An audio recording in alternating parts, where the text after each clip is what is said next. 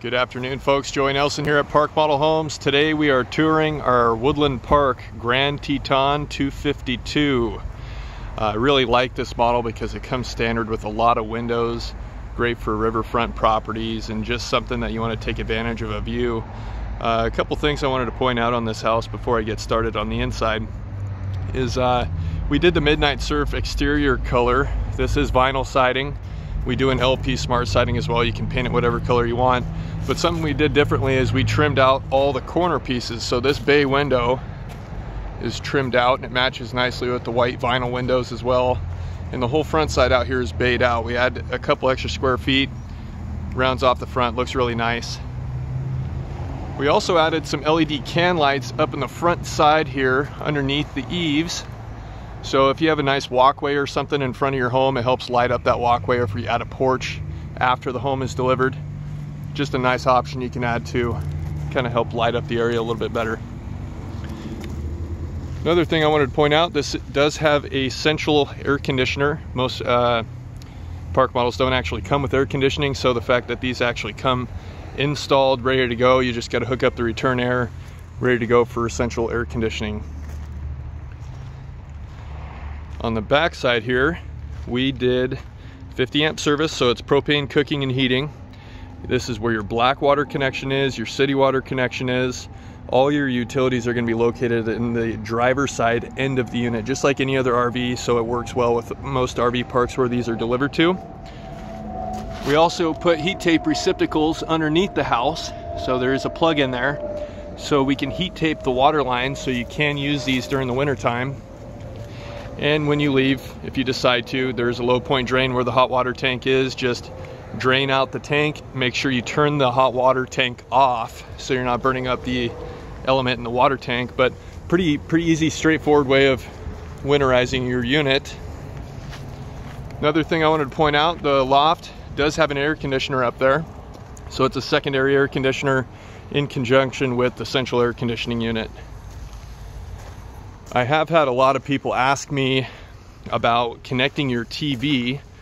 Simple question you would think, but uh, most people can't figure out how to connect the TV services to your park model. So what we do is where your TV locations are, we have a conduit that runs directly down the unit. And you can see right here, it's already pre-wired for a coax TV. It runs straight down the home. It's hidden in the belly board, so it won't be exposed during transit but I pulled it out here for educational purposes. This is how you connect your TV to your cable or satellite TV. All right, let's go ahead and take a look inside. We did do some nicer options in this house that I wanted to point out that a lot of builders don't necessarily do. The first thing you're gonna see is this does come fully furnished. 72 inch sleeper sofa, queen size mattress folds out of it, recliner, and actually it comes with all the decor too. Everything you see in the house comes with all the decor. End tables, you know, picture frames, whatever you really want. They come pretty well turnkey. Now looking this way, this is a little bit bigger TV than we normally do. This is a 47. I don't know if I necessarily recommend it. It kind of gets in the way of the cabinet, so doing a 42 inch TV in this floor plan is probably going to be the best route.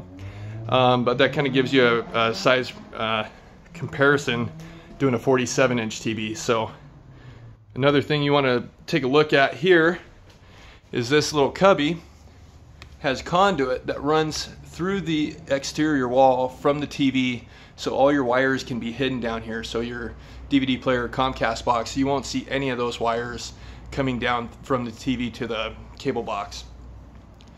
We also did a 30 inch electric Dimplex fireplace. This does throw out some pretty decent amount of heat.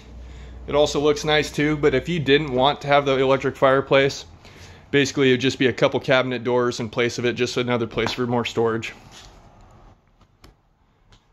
Looking through here, nice open galley kitchen. We did the white cabinetry with the black handles. And then you'll see over here, we did the blue accent hutch and the blue accent island. Something that's cool about this island, it is movable, so you can rearrange it if you want to. It's got a ton of storage in the island with adjustable shelving. Just more places to add storage if you want to. Another cool thing, we did the toe kick lighting. It's really, it's a nice accent lighting. We did it here in the kitchen underneath the hutch and we also did it in the bathroom, which I'll show you here in a second. Uh, it's a little, it's more daylight out, so you can't necessarily see it, but we did toe kick lighting underneath there as well.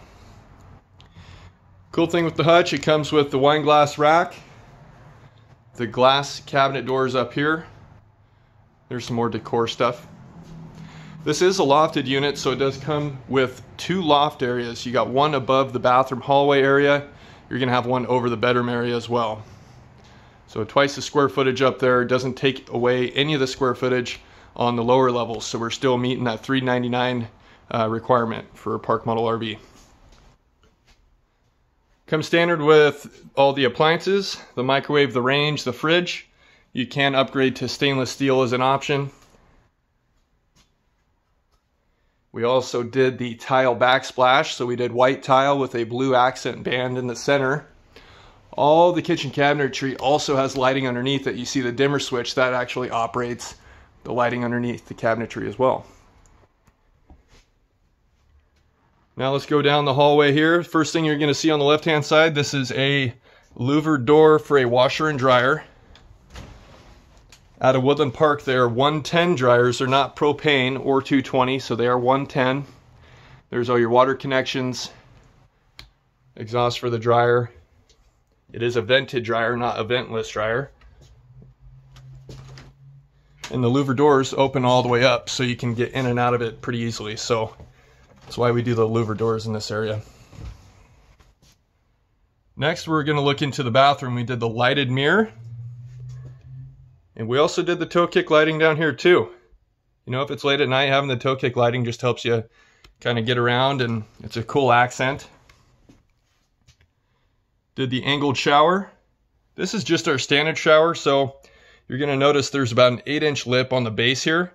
Uh, for people that have bad knees and stuff like that, we can do a lower shower pan about 2 inches.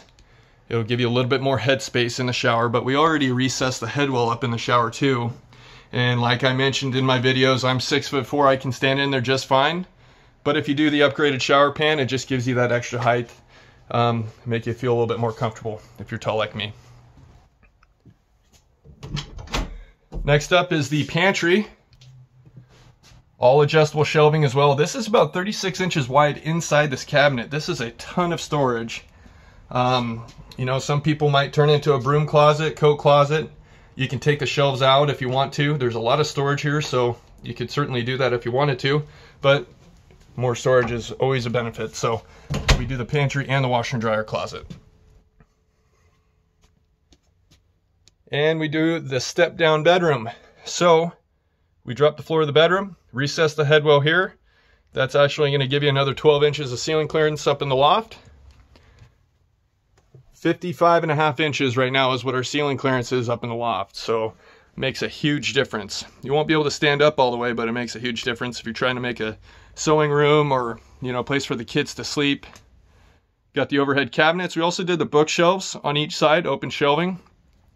It kind of helps frame in the bed. It looks nice. We also did the overhead lighting in the bedroom as well. Has the dimmer switch to operate it. This is a queen size mattress you're really not going to fit a king size mattress. I get a lot of those questions. It's way tight. Wouldn't recommend doing it. Um, you also got your bank of drawers in the center. You got your TV space in the center as well. It's got a light in there. You got your his and her t-shirt closet. And sometimes people want to put a motion light in here, which is kind of cool too, because there's no lighting in here naturally. And um, if you wanted to put a motion light in your closet, that way if you open it up and you don't want to turn the lights on and wake somebody up in bed. Uh, the light will kick on right when you open the door and it'll shut off when you're not using it. So that's kind of a new, a new feature that we've been offering people. Now we're coming up the loft here. Like I mentioned before, this is a split loft, so you got two separate areas. The first area we're going to look at is the drop section. This is the section that's going to give you 55 and a half inches of ceiling clearance. We did a loft closet as well entertainment center area for your TV. Most people are going to put a futon up here. You can fit a full-size mattress, but if you do the futon, then you can watch TV, and when it's time for bed, you just fold it down into a bed and, and go to sleep. So it's multifunctional. And this is the other loft area, separated loft. We did the wall with two windows. You can do open railing if you want to, but if kids are sleeping up here, most people want to add the windows just to retain the sound. And maybe you don't want to see all the stuff that's stored up here, so that's also a really nice option.